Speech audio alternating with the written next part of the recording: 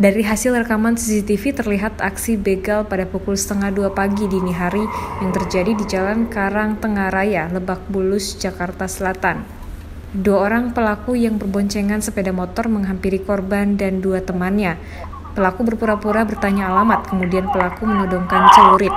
Pelaku memegang dan menusuk AS, sementara itu dua teman korban lainnya berusaha menyelamatkan diri. Pemuda berinisial AS 20 tahun mengalami tiga luka bacok di bagian telinga, punggung, dan bokong.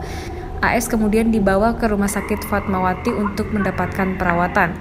Tak ada barang yang hilang setelah kejadian. Kejadian ini telah dilaporkan ke Polsek Cilandak. Dari Jakarta, tim liputan melaporkan.